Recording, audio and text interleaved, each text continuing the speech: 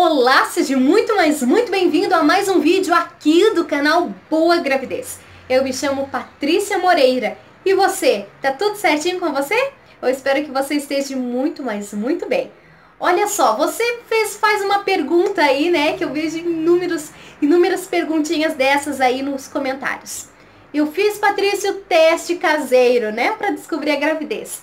Só que comigo, no meu caso, eu acho que não funcionou porque ele deu negativo. Olha só como que aconteceu. Se você não conhece o teste caseiro, vou te explicar. Você vai precisar de um copinho plástico, ok? E você vai colocar até metade de urina. Essa urina, Patrícia, precisa ser a primeira urina do dia? Sim, precisa ser a primeira urina do dia.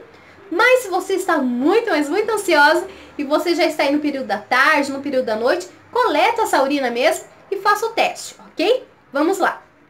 Eu, quando eu fiz o, o teste com a urina de uma grávida, eu, eu fiz ali no período da tarde, então não foi a primeira urina do dia. E funcionou. Então vamos lá. O que mais que você vai precisar? Sabe esses copinhos de xarope? Patrícia, eu não tenho esses copinhos de xarope em casa. Bom, se você não tem, aqui se, é, você vai encher de, de cloro, ou pode ser também de água sanitária, vai encher ele tem uma dosagem de 10 ml. Então você vai colocar então o cloro junto com a urina. Então primeiro coloca a urina e depois você coloca o cloro, essa medida aqui desses copinhos aqui. Lembrando, se você não tem em casa, é uma medida de 10 ml, ok? Ok, então vamos lá. Depois que você fez esse procedimento, você mexe no copo, assim de leve, e você vai perceber que vai haver uma reação essa reação. Não ligue que eu estou um pouquinho fanha, estou me recuperando de uma gripe.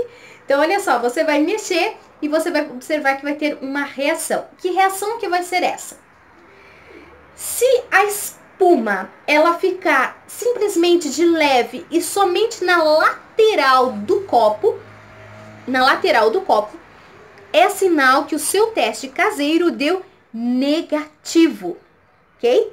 Mas se espumar e ficar uma espuma bem uniforme, assim, uma, uma espessura bem uniforme em cima da urina, e essa espuma já passou ali dois minutos, três minutos, e essa espuma continua em cima da urina, é sinal que esse teste deu positivo, ok? Mas, Patrícia, comigo foi o seguinte, eu fiz esse teste da, do teste caseiro, né, da água sanitária, do cloro, e comigo espumou só um pouquinho, deu negativo. Mas Patrícia, eu preciso te falar. Eu estou sentindo que eu estou grávida. Eu estou com alguns sintomas aí, sabe? Eu estou sentindo muita fome, uma fome diferente. Uma fome que eu não sentia antes. Eu estou me sentindo um pouco enjoada.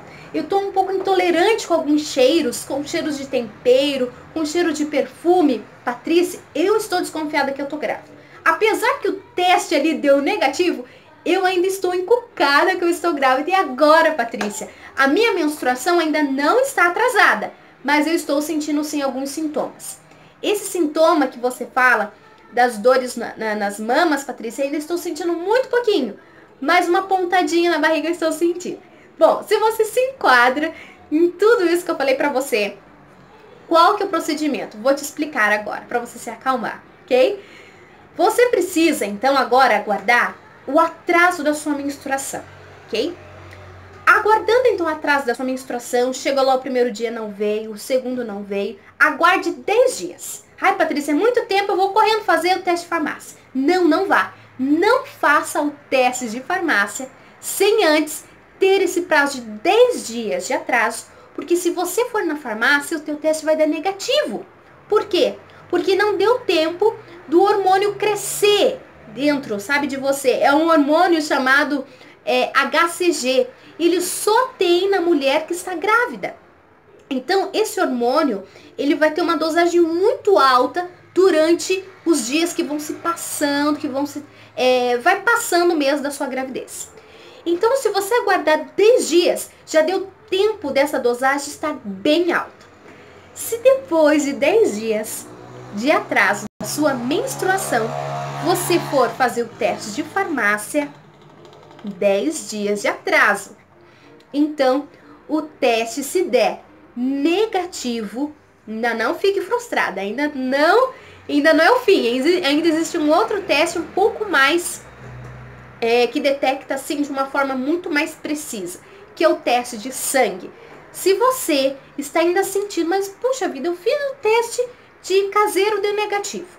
Eu fiz o teste de sangue e deu negativo, mas eu sinto que eu estou grávida. Faça o teste de sangue. Patrícia, mas por que você já não pede para mim fazer o teste de sangue já agora? Bom, você pode fazer, só que é um pouquinho dolorido, né? Você vai ali passar por uma picadinha, né? E de toda hora você achar que você está grávida, você passar por esse processo vai ser um pouquinho, né, desconfortável.